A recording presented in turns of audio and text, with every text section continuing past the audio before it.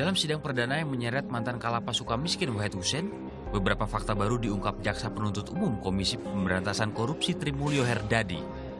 Selain dugaan jual beli fasilitas dan surat izin sakit yang dilakukan oleh Wahid Hussein, dalam dakwaan tersebut jaksa juga menyebut bahwa di lapas suka miskin ada ruangan yang digunakan untuk aktivitas biologis para narapidana atau yang biasa disebut dengan istilah bilik asmara. Dijelaskan JPU untuk sekali sewa ruangan berukuran 2 kali 3 meter tersebut, narapidana harus bayar Rp650.000. Namun, Kalapas Sukamiskin yang baru, Tejo Herwanto, membantah. Selama ia menjabat sebagai Kalapas Sukamiskin, ruangan yang dimaksudkan tidak pernah ada. Datang itu yang dimaksud bilik asmara itu aja saya nggak tahu gitu gimana. Jadi yang dianggap dulu saya mempunyai persepsi yang saung, sudah kita bongkar semua. Lalu saung yang di belakang sudah kita bongkar semua. Kalau persepsinya itu berarti udah tidak ada.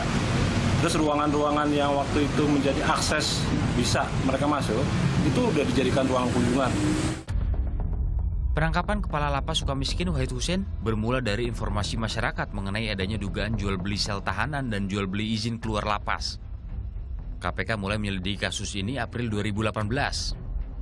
Setelah berhasil mengumpulkan sejumlah bukti, KPK akhirnya melakukan operasi tangkap tangan pada 20 Juli silam.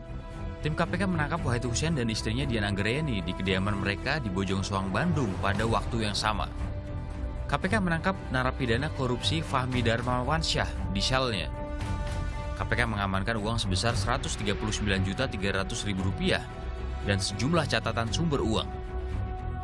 Menurut KPK, Fahmi pelaku utama yang menyuap Wahid guna mendapatkan fasilitas dan izin untuk keluar lapas. Bukan cuma Fahmi, sejumlah napi korup juga ternyata terlibat OTT KPK kala itu.